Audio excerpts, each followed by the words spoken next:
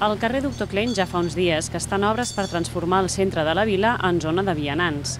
Un cop finalitzi l'actuació, els vials seran de plataforma única amb llambordes.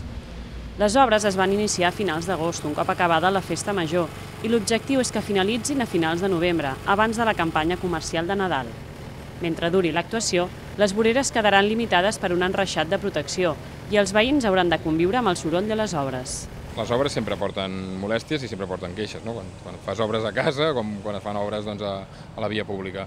Uh, de queixes n'hi ha hagut, uh, s'han intentat donar molta informació als veïns, uh, com contactar doncs, amb els serveis territorials d'Ajuntament o amb la policia per alguna necessitat especial.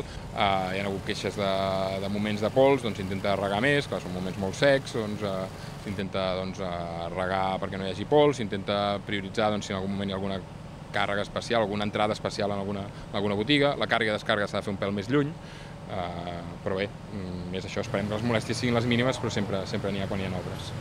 Des de l'inici de les obres ja s'han realitzat els desviaments pertinents de trànsit i el trasllat de les parades del mercat setmanal. L'afectació a la circulació, però, és relativa, ja que no suposa massa diferència amb les restriccions finals un cop acabada la zona de vianants.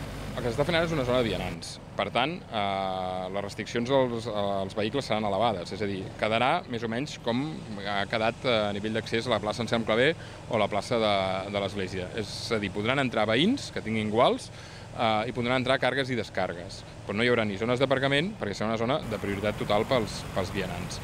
En una segona fase, prevista el 2017, es reformarà també el tram inicial de la carretera de Cànoves, des de la plaça de l'Església fins a Lluís Llibre.